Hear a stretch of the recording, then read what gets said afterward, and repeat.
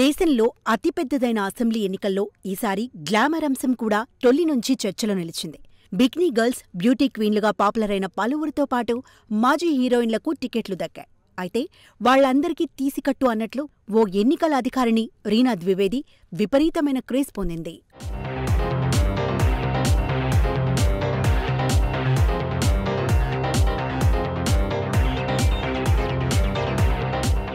UP assembly ఎన్నికల సందర్భంగా లక్నోలోని ఓ polling స్టేషన్లో రీనా కనిపించింది. ఈసారి ఆమె చీరకు బదులు నలుపు రంగు స్లీవ్లెస్ టాప్ తెలుపు రంగులో ఉన్న బ్యాగీ ప్యాంట్తో వచ్చారు.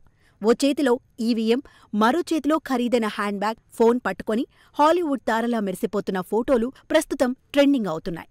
రెండు వేల పంతొమ్మిది సార్వత్రిక ఎన్నికల్లో పసుపు రంగు చీరలో పోలింగ్ బూత్కు వచ్చి ఇంటర్నెట్ సెన్సేషన్గా మారిన రీనా ద్వివేది సోషల్ మీడియాలో మరోసారి చర్చనీయాంశమైంది.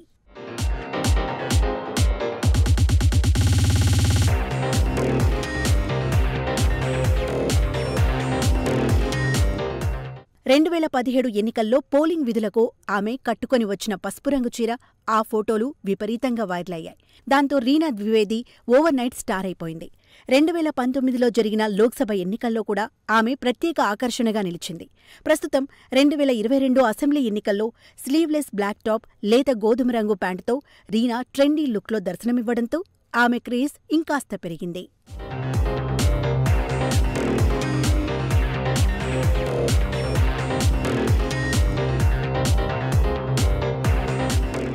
తొలిసారి తన ఫోటోలు వైరల్ అయినప్పుడు అసలేం జరిగిందో తనకు తెలీదని అయితే ఇప్పుడు మాత్రం ఏం జరగబోతుందో ఖచ్చితంగా తెలుసని నర్మగర్భంగానే తాను సెలబ్రిటీననే విషయాన్ని ఒప్పేసుకున్నారు రీనా ద్వివేది. గతంలో పసుపు చీర ఇప్పుడు బ్లాక్ ట్రెండీలో ఏమిటి మార్పు అని మీడియా అడిగినప్పుడు తోడా చేంజ్ హోనా చాహియేనా అంటూ ఆమె సరదాగా పేర్కొన్నారు.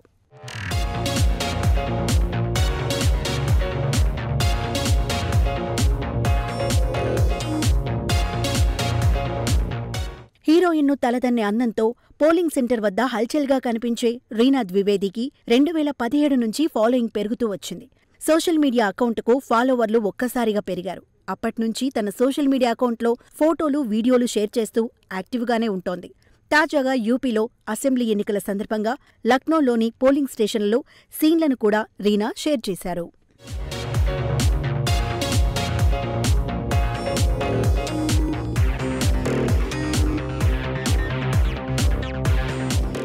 తన పాపులారిటీపై సంతోషం వ్యక్తం చేసిన రీనా ద్వివేది ఈసారి ఓటింగ్ శాతం పెరుగుతుందని ఆశిస్తున్నట్లు పేర్కొన్నారు.